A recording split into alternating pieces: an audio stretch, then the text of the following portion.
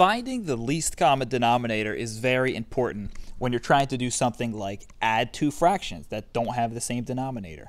Um, in order to add fractions with unlike denominators, they have to have the same number in the bottom. Um, so what you can do is you can change those numbers in the bottom, but also change the number in the top to keep the fractions equivalent.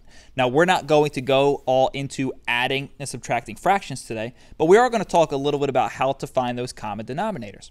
So the first thing you want to know is what are the denominators? So I listed them below. I listed 5 and then I listed 9 right below it. Um, now what we're going to do is we're going to skip count these numbers, meaning count by 5s, 5, 10, 15, 20, and then we'll count by 9s, 9, 18, 27, 36, so on and so forth. And we'll list their numbers here. What we're actually trying to find is something called the least common multiple, which looks a lot like this, which is the least common denominator.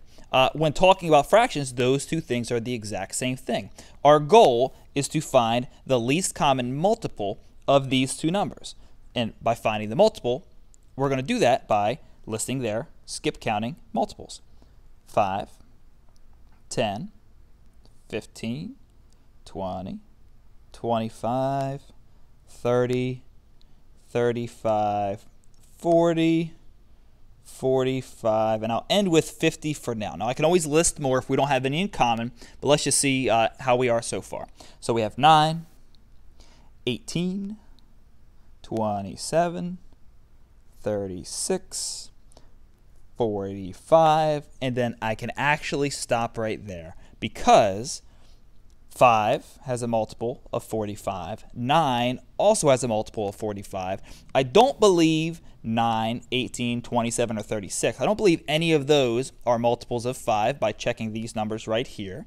Um, but the first common multiple, or the least common multiple between the two, is 45. So to find the least common denominator, we just did that by finding the least common multiple, which is 45.